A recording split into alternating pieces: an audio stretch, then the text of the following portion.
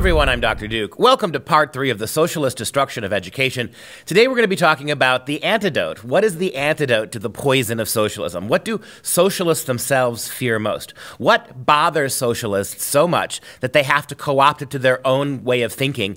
And what is the single best way to educate your ch- children in a way that makes them, in many respects, socialism proof. There's a reason why modern historians go out of their way, modern secular university socialist historians go out of their way to pretend that the founding fathers were not Christians, that Christianity had no role to play in the founding of this country, that uh, the Judeo Christian worldview going back 2,000 years was not the moral underpinning of the Constitution and the foundation of American values.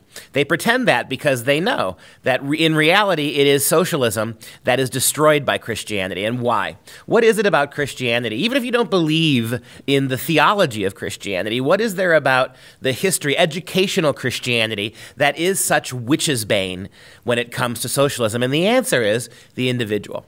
There is no figure in human history, none, zero, zip, nada. There is no figure in human history who was a more passionate and sacrificial devotee of the individual than Jesus Christ. If you go back and read the Gospels, you will find in it the greatest defender of individuality the world has ever seen. Christ's ministry was preached individually to people. Yes, he lectured people, he taught in parables to large groups, but his healing, his ministry, and ultimately the faith predicated on his way of life, his sacrificial death, is based on individual choice. It's not based on the collective. The collective can't decide who Jesus is, the individual has, has to.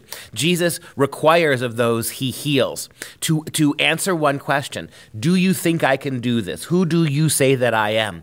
everything about the Gospels, and, and, and you think about the evolution of Christianity for 2,000 years, at least until the 18th century when we got the foundation of America, from the death of Christ to the time of the founding fathers, Christianity continued to evolve along individualistic lines. That's why Western culture, more than anything else, the life and death of Christ, the, the institutionalization of Christianity, is the reason that over 1,800 years, Christianity became more and more individual focused, right? You couldn't have had the founding of America without the individualistic ideas of Christ, which were woven in to a kind of new form of government where politicians worked for people. Uh, very liberty minded, independent, everybody is responsible for themselves sort of country that flows ultimately from the ideological and philosophical development of Christianity. In fact, I want to take you back, if I may, to the Gospels themselves to make this point directly, I believe that in the temptation of Christ, this is a story that appears in uh, the Gospel of Matthew, chapter 4, and the Gospel of Luke, chapter 4.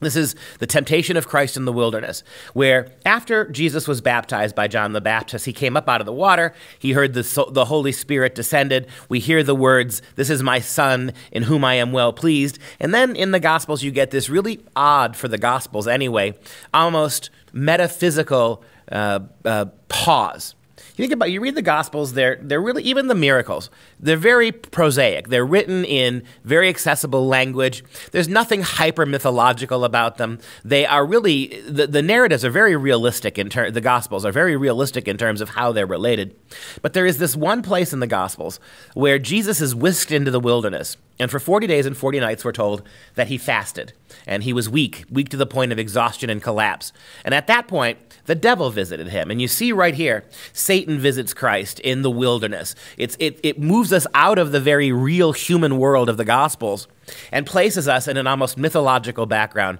to make a very important point. And I think the three temptations of Christ in the wilderness lay out for us not only the individuality of Christ and his commitment to it, but also the antidote for what would evolve to become socialism.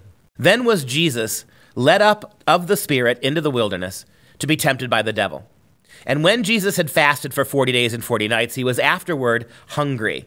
And when the tempter came to him, Jesus said, uh, the, Satan said, If thou be the Son of God, command that these stones be made bread. This is a remarkable temptation. There's Christ he is the Son of God. He is suffering. He is his physical body, which he has inhabited, is he's become one with, is hungry to the point of exhaustion and collapse.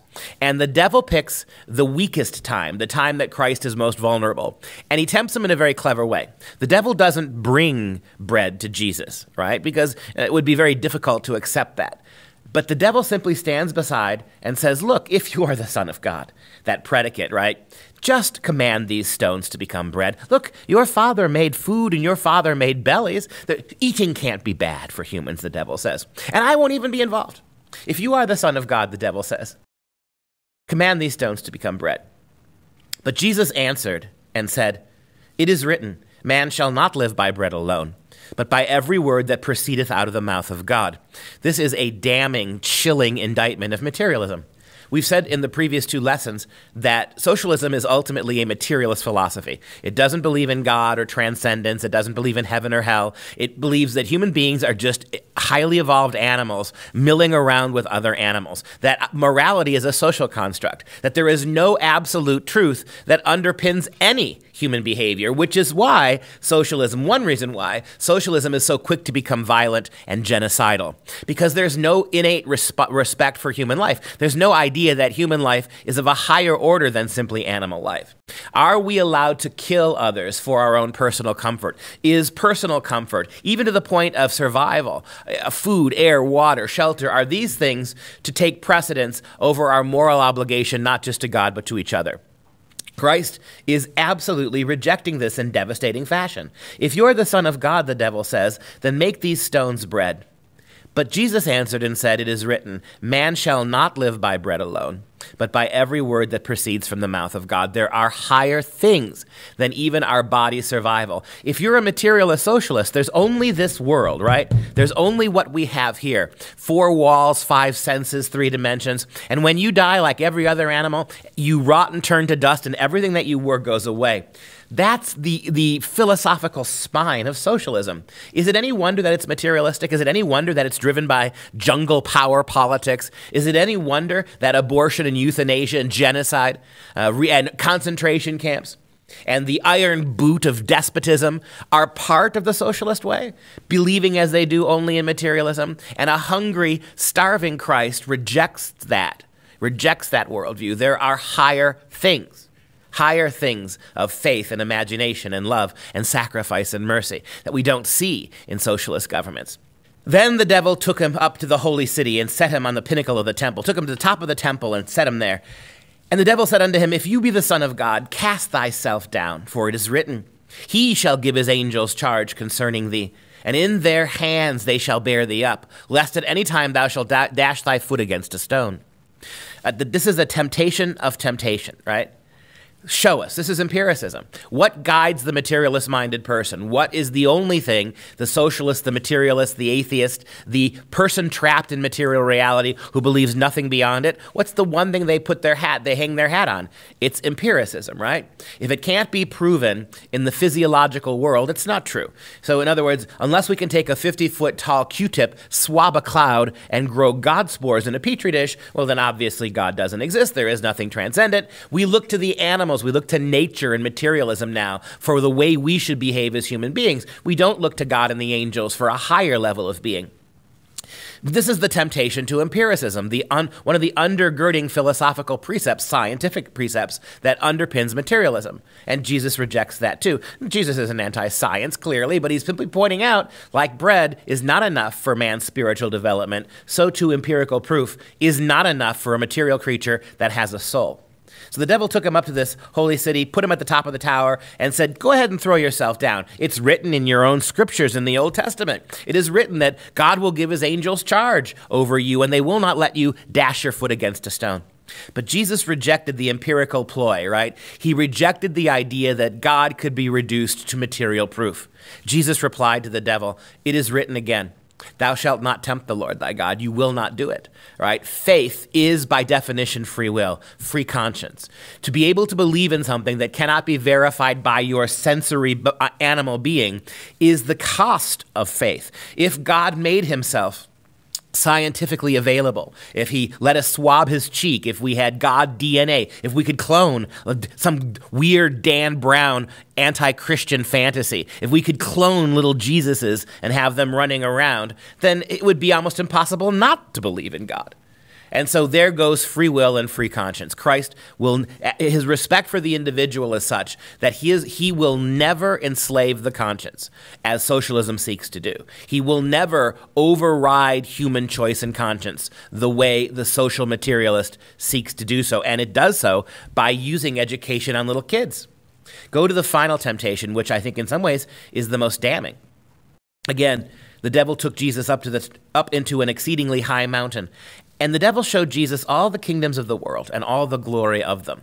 In other words, to whom does this belong? Worldly wealth, materialism, uh, prosperity, power, ambition, lust, these kind of things that earthbound people pursue because they are the pinnacle of life as an animal. Every animal seeks to live as long as it can and to be as comfortable as it can. These are the only two biological aims of biological life. And here you have an argument where the devil himself, these things belong to him. Again, the devil took Jesus up into an exceeding high mountain and showed him all the kingdoms of the world and the glory of them. And the devil said unto Jesus, All these things I will give thee, if thou wilt fall down and worship me. Two things, right? We know that world, flesh, and the devil, according to Christ, are the three things that takes a man's soul. What are the three things that destroy a human being made in the image of God? Not the materialist, animalistic creature that the socialist imagines. What destroys a person's soul? Well, there's the world, worldliness and materialism. That is the foundation of socialism. Worldliness and materialism, flesh uh, uh, uh, believing that only the body matters, that making the body happy, that seeing to the body's mortal needs, right? This is all that matters. Think about what the socialism wants. The socialist wants doesn't want e- e- prosperity for everybody. He wants everybody to have minimum things, right? Everybody should have what the animal needs, but no one should have any more than that. So every animal, every human animal for the socialists, that's why it's all about money and giving people other people's stuff, right? The socialist animal must all have the same kind of housing, the same kind of food, the same kind of uh, basic needs met. Now, including health care. Now, you're not going to give people really good health care or really good food. They're not going to have really good lodgings. Everyone's going to have a minimal level, right? And that's what the materialist does. These things, so you got world, flesh, and then the devil's the third. And so the devil's in control of the material world. It's a remarkable statement. But Jesus responded to the devil Get thee hence, Satan, be gone, for it is written, Thou shalt worship the Lord thy God, and him only shalt thou serve right? That to be a human being is not to be a slave to the world. Power, lust, greed, these things are sins in the Christian hierarchy. They are not simply just bad economic behavior as identified by a socialist. These are actually damnable sins. The idea that the world is an adjunct of materialism and worldliness and materialism are both adjuncts of Satanism. It's a remarkable statement. Think about the best the socialist can do. The best the socialist can do is move around around material goods, right? It's not a moral philosophy. It's not a spiritual philosophy. It's not a philosophy of mercy or justice. It's simply reorganizing who has stuff, right? It's simply, again, a weak economic system that's been proven, going all the way back to Marx, to be miserable. Uh, it, it promotes miserable miserableness equally, is all it does. And here you have Christ who definitively rejects this temptation. The world is not the answer. That doesn't mean that we don't eat. After uh, the angels left here, we find out what? The devil leaved, left Christ, and behold, the angels came and ministered unto him. It's not that eating or surviving or, or realizing that we are partially biological creatures who need nourishment. That's not the issue. The issue is, is that do you live for material reality or do you live for the reality beyond the material? And this is a critical thing because there's no real collective salvation here. It depends on what your soul is doing, depends upon what you have chosen, depending upon whether or not you have chosen Christ as your Savior. Uh, your church can't choose Him for you. Your community, your nation, your, the United Nations can't choose your salvation for you. It has to be an individual thing. But with socialist governments, materialist socialist governments, they make every choice for you. In fact, the socialist material, materialist governments seek to take away both choice and conscience from the individual. That's the devastating thing in education. That's the kind of system we're teaching to our kids. Entitlement, not gratitude. Worldliness, not spiritualism. The idea that there is there are realities and truths, particularly moral truths, that supersede biological realities. We've for two generations now been giving kids this utterly secular ed- education, and we see them to grow up to be intellectually ignorant, ignorant collectivists in their politics, anti-American, anti-free markets. One of the most acute observers of this phenomenon was the great Russian Christian novelist Fyodor Dostoevsky. Dostoevsky died in 1881, and he was a good 30 years before the socialist communist revolution took place in Russia. And yet he was one of the great observers. He knew, he absolutely knew Dostoevsky where this socialist communism was going and how the only really reactor, the only way to react to it, the only way to defend against it was going to be Christianity. He predicted that when the Bolsheviks would take power, the churches would have to go underground. They wouldn't go away, and they didn't. They would just have to go underground. Here is a, uh, a letter in 1880, a year before he died, that Dostoevsky wrote to the Moscow Herald newspaper about socialists. It goes like this The modern negationist, the modern socialist, the modern unbeliever in transcendence, the modern negationist declares himself openly in favor of the devil's advice and main eh, the devil as we just saw it in the three temptations of Christ, right? Choose the world, not God. Choose bread, not truth. The modern negationist declares himself openly in favor of the devil's advice and maintains that it is more likely to result in man's happiness than the teaching of Christ. See, Christ said, Live for others here, not for self. Live for soul here, not biology. Live for spirit, not for world and materialism. The devil said it's exactly the opposite. Be the animal that you are. Be let biology be your guide. Let the pursuit of comfort and survival be your only mission. Dostoevsky is right. The modern socialist declares himself openly in favor of the devil's advice, not Jesus's advice, and maintains that it is more likely worldliness, materialism, to result in man's happiness than the teachings of Christ to our foolish but terrible Russian socialism, for our children are mixed up in it. And Dostoevsky recognized that.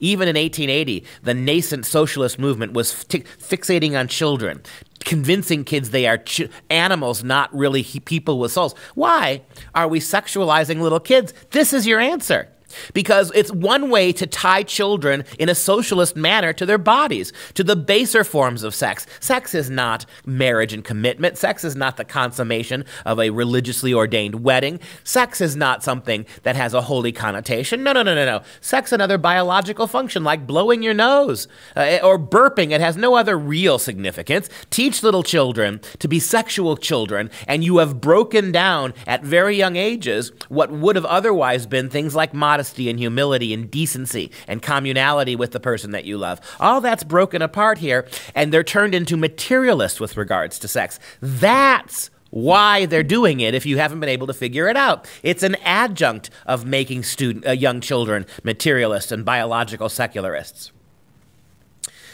He says, To our foolish but terrible Russian socialism, for our children are mixed up in it, it is a, ba- it is a directive and it seems a very powerful one.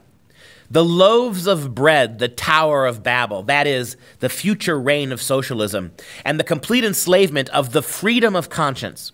That is what the desperate socialist is striving to achieve the ultimate enslavement of human conscience. No more individuality, taking away the burden of choice and therefore the burden of guilt and responsibility away from people. That's what socialism really is. It allows people to default to the collective, just in the same way that people who would never themselves be violent as individuals or antisocial, put a bunch of people like that in a mob and watch how quickly they give up their scruples and their resi- and their uh, their moral principles to behave the way the mob does. That's exactly what happens with socialism. To a T, that's what happens with socialism. By being part of the collective, you give up your responsibility. You no longer have to worry about your own conscience. The collective can deal with that. The collective must know what it's dealing. You become part of a greater materialistic body like that, then suddenly things like genocide, what, what happened in Hitler's Germany or what the Bolsheviks did to Eastern Europeans and Jews. Those kind of things, right, become acceptable because you're not responsible for me. It's the collective conscience that did those things. How many times did we hear it at the Nuremberg trials, right? I was just following orders. Can't blame me, blame the orders, right? This is the sacrifice of conscience. Because conscience is the one thing in the human animal that allows it to feel guilt. And according to the materialist socialists, guilt is not something we should feel. It's unhealthy. And I love what uh, Dostoevsky says here. He calls the Tower of Babel, the two things, in, the two stories in the Bible, he says, reminded us of, of socialism. One was the loaves and the bread, what we just saw, the idea here of, of Christ being fed in the wilderness, Christ feeding other people. That and the Tower of Babel. Remember the Tower of Babel, right? Where human beings became so clever, they decided they were going to ignore God they weren't going to worry about getting to heaven from here. They weren't going to worry about altering their behavior here. What they were going to do instead of having to make a moral choice, they collectivized. All the peoples of the world came together and they built this huge tower that they were going to build so high they could then storm heaven and by force take it from God. This is Dostoevsky at his finest. He's exactly right. If you understand the story of the Tower of Babel as I just related it, that's exactly it. The socialist argues there is no God and there is no heaven. So we must make this world heaven. We should not worry about moral choices or sacrifice or love or mercy. We should simply choose power here. And by choosing power here, we'll force people at gunpoint to make this a heaven.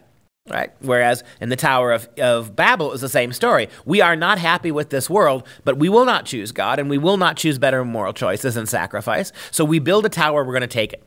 And what God did when he saw the tower being built is he recognized their folly their materialist folly. And so what he did is he scattered them across the face of the earth and he, he jarbled their languages, right? People started to no longer be able to understand each other because of different, eh, different eh, languages. And what did God do for that presumption? That, Dostoevsky rightly understands, is a great analogous metaphor for what was happening the, with the socialists of his day. It is rather than trying to get to God from this earth, recognizing this material place is not our home, that we get to it by sacrifice and love love and other things, we're going to turn this world into a heaven. That's why, as somebody once pointed out, why do, I think it was Thomas Sowell, the great African American economist, pointed out once, why do the so called greatest lovers of humanity, the socialists who, who love people way more than the rest of us do, we're told, why do they end up killing so many? Why do they end up murdering so many of the people they say they love? And this is why. Because what they, they think they're offering us a materialist, materialist paradise. And when we don't choose it, then they get offended to the point of killing us. Dostoevsky finished his letter to the M Moscow Herald by writing The difference is that our Russian socialists, he said, they are conscious Jesuits and liars who do not admit that their ideal is the ideal of the coercion of human conscience and the reduction of mankind to the level of cattle. That's exactly right. That's why you can kill so many of them. Human beings aren't individual agents whose every precious life matters, made directly in the image of God, no two alike. No, no, no. Human beings are like any other herded hoofed beast, right? You harness them, you you you prevent them from being born, you cull the herd when there are too many of them. The real point is that these these Russian communist socialists, he said, they are Jesuits. They are equivocators and liars who do not admit that their ideal is the ideal of the coercion of the human conscience and the reduction of mankind to the level of cattle. The question I would like to ask them in a nutshell, Dostoevsky says, is this Do you despise or do you respect mankind? You who would be its future saviors. Yes, the socialist revolutionary displaces Christ. He is the savior, the Che Guevara, right? The, the, the Stalin, the one who's going to come and he's going to become the savior of mankind, not by sacrificing himself, not by providing any better world, but by socializing them, commun- communizing them, right? Turning them into cattle, taking away the burden of choice and freedom from them. That's exactly right. And speaking of Jesuits, this is exactly what's going on with the Roman Pope right now. The Catholic Church has elected just this kind of dishonest Jesuit to lead the church. This particular Jesuit Pope, the Pope himself, Pope Francis, think about what he's doing in China. Christianity is the fastest growing religion in China, and why wouldn't it be? In a culture like the Chinese culture, where individual choice has been suppressed so long, individual freedoms have been boot thugged for so long, why wouldn't the religion of individuals begin to grow there? And it's taking off in leaps and bounds. So, what does this Pope do? He makes a bargain with the Chinese government, the Chicoms right? The creators of the, the Laogai, the Gulag, the place where Muslim Uyghurs are being, at, in the millions, being repressed and put in concentration camps, where religion itself is anathema. This, this crazy Jesuit pope has made a deal with the Chinese government to allow the Chinese government to decide whose bishops are going to be, who's going to lead this church, right? In other words, he has sold out the individuality. And why wouldn't he? Francis is a liberation theology, reads socialist prelate from a South American fever swamp, right? The idea that this guy is Christian first is nonsense.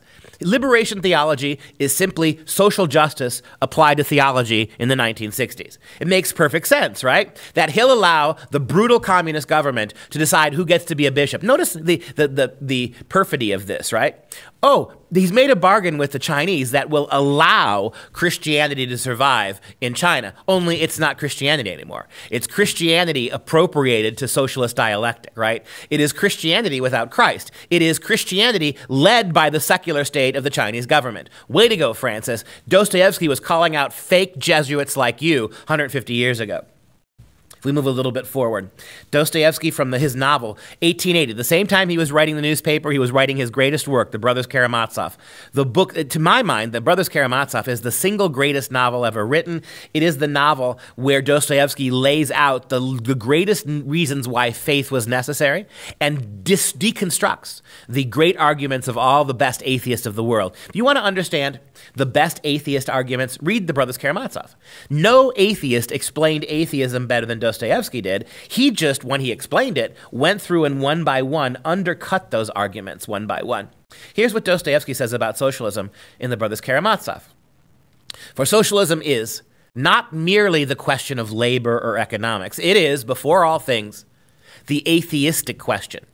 The question of the form taken by atheism today. The question of the Tower of Babel built without God, not to mount to heaven from earth but to set up heaven on earth. Brilliantly formulated, much better than even in his letter. And that's exactly what he says, right? Socialism, whatever else you want to call it, and let's be very clear about it, it is first and foremost the atheist question. Socialism is the form that atheism in the modern world takes. Atheism is the problem, primarily because it leads to nothing but materialism, right? The atheist is stuck with only materialism to answer the world's problems, which they've been unable to do in large scale, to deal with the realities of, of life, the, the brevity of it, the finality of it, the biology. Think about it if you're an atheist, right? How materialistic that is. Biology is everything. There, without biology, there is no life. Life is, by definition, biology. And how does all biological life end? in death, right? Biology, by definition, is a dead end. The minute something lives is the minute it's condemned to die. There is no way out. And he rightly points out, Dostoevsky, that socialism is not a labor question. It is, before all things, the question of belief in God or not. Also from the brother Kar- brothers Karamazov, Dostoevsky writes Do you know that ages will pass and mankind will proclaim in its wisdom and its science that there is no crime and therefore no sin. That's a Marxist tenet, right? Crime is just a protest against the social order. When criminals do bad things, it's not because the criminal's bad. It's not because the criminal made a bad choice. It's because society is not properly ordered correctly. Tell me this is not the garbage you're hearing from your college campuses. Tell me this is not the the the, the cant you're hearing from idiots like AOC, right? Alexandria Ocasio-Cortez, who's calling for the, uh, the the elimination of all prisons all throughout America because they're just unhelpful. See, crime is not an individual choice anymore to the Marxist. Crime is a reflection of a social order that's wrong. Dostoevsky said it 150 years ago. Do you know that ages will pass and mankind will proclaim in its wisdom and science that there is no crime and therefore no sin? But there are only hungry people? Feed them first, and then demand virtue of them, the atheist will say. And that's exactly where we are. Materialist philosophy. It doesn't matter what else you do, as long as people are fed and as long as people are treated like fed cattle or dairy cows, then that's the most we'll ask of them. And for that privilege of feeding them, we will take all their rights, their liberty, their, their, their individual choices. We will take from them their conscience and their faith. We will make them basically kept pets, kept pets to our, our materialist philosophy. Another quote from the Brothers Karamazov, 1880. Quote, we are not particularly fa- afraid of all of these socialists, anarchists, atheists, and revolutionaries, but there are a few particular men among them who believe in God and are Christians, but at the same time are socialists. Those are the people we are the most afraid of. They are terrible people. The socialist who is a Christian is more to be feared than the socialist who is an atheist, and that's exactly right. The socialist who is a Christian, and you're beginning to see the infection of socialists in all the Christian churches. I've already mentioned that the Catholic Church is completely sold out to this, right? That social justice, which is a godless, materialist, activist form of socialism has now become a major aspect of the Roman Catholic Church, but don't don't think it's just Catholicism. Think about the degree to which uh, this kind of social justice posturing has infected all the Christian churches, from the, the low church all the way to the high churches. All of them have been bought into this notion that social justice means dealing with people not in a, in a primarily spiritual and godly way, but finding out ways to make them materially more comfortable. That's why we never preach about sin anymore. From the any pulpit, we never preach about sin anymore anymore. Sin is one of those things that is, if it exists, it is entirely your responsibility, cannot be blamed uh, primarily on the collective or the society. So sin has gone away. Crime has gone away, as Dostoevsky predicted. Crime is just protest, right? When criminals do criminal acts, they're actually heroes who are protesting against an evil social order. And you can, how many of the things that Dostoevsky has warned you about have come true? And for education, this is especially dangerous. I've said this many times. These Christians, who use Christianity to promote socialism, like the Pope does, like many of our secular Protestant churches, uh, many of our Protestant churches do. These clerics and these theologians who argue that social justice is the point of Christianity, a godless, materialist focus simply on material needs and wants, that kind of virus that's in that's that's that's in that kind of virus that's infected our entire church structure that is the problem. I would rather have my kids go to a public school where I know their faith is going to be under assault from materialists than to send them to Christian schools, which is most of them now, where they're actually not getting Christianity, but where so called Christian teachers are teaching them anti Christian values, teaching them a social justice program of materialist thought. This is where we are today. So we've said it many times. It's not even a matter, uh, uh, to the degree that Christianity might be the answer, and it is, it has been the antidote to the poison of socialism going back thousands of years, but in its nascency. The problem is, is that the social justice materialists now, who call themselves Christians, who carry the mantle of Christ while secularizing and socializing children to become atheist secularists, those ones are much more dangerous, Dostoevsky says. We Christians don't fear socialism. We should not fear it. But what we should fear is the degree to which Christian institutions of learning. Look at, the, look at our Christian colleges. Can you name one? Hillsdale is a secular college. Can you name a serious Christian college that you would send your kids to? Notre Dame? Georgetown? Some of these, would you send them to Baylor? I mean, you think about what's going on in our colleges and the way that social justice has completely transformed Christian education into this kind of secular education.